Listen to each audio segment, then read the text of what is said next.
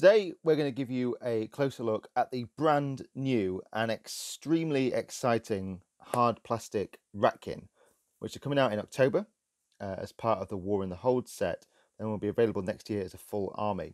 So here we go in their splendid glory.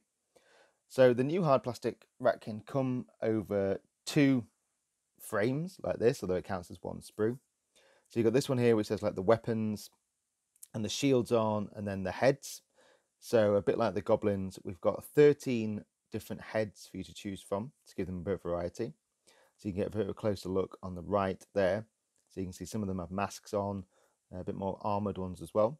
Then we've got the spears, because you can make two different types of Ratkin from this sprue. You can do the spears, like this, and the warrior spear warriors. And then you can also do the normal warriors.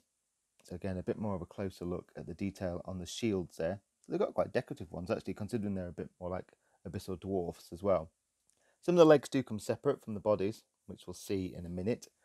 Uh, so you might get a little bit of posing in there as well to make them all look a bit more unique. So some of the spears. So you'll have enough to do on the sprue 10, 10 warriors or 10 spear warriors, spear rats, let's call them.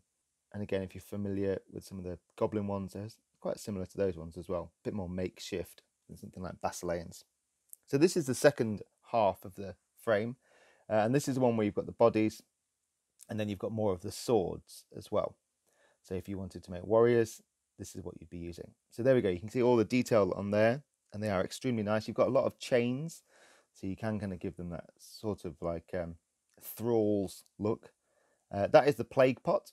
So in Kings of War 3rd edition, you've kind of got pets for some of the frames, for some of the units. So that's one of those. So they've got the plague pot. So the other half of it there. And you can also see a whip in that section there. Now the reason for the whip is because you of have like a commander for the front of your troops. You can see the swords, uh, a couple more of the spears as well. And then what we will be doing is we'll be releasing upgrade packs separately. So if you did want to make shock troops, you can do that. Um, the wretches, you probably get away with painting these slightly differently to make them look like wretches wouldn't be much of a problem there. Maybe make them look a bit even dirtier. So there you go. That's a look at the Ratkin. So the Ratkin will be available first in the War in the Hold set, which is out in October, along with the Goblins. That's a new two-player set.